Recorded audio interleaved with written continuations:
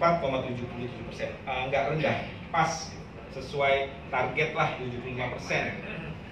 Banyak orang mungkin tidak hadir karena faktor administrasi, cuaca, berlibur dan sebagainya.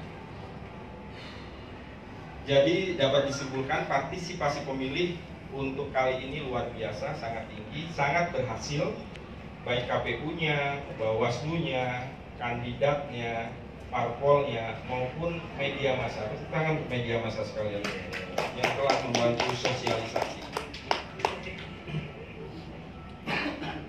Sudah siap? Sudah mulai? Ya, ya.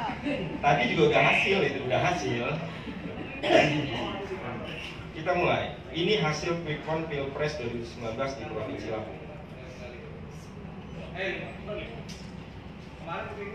Paslon 01 57,99 persen atau saya akan mudah bilang 58 persen kali ya. Paslon 02 42 persen. Dengan tingkat kepercayaan 99 persen, toleransi kesalahan dan data masuk 97,99 persen.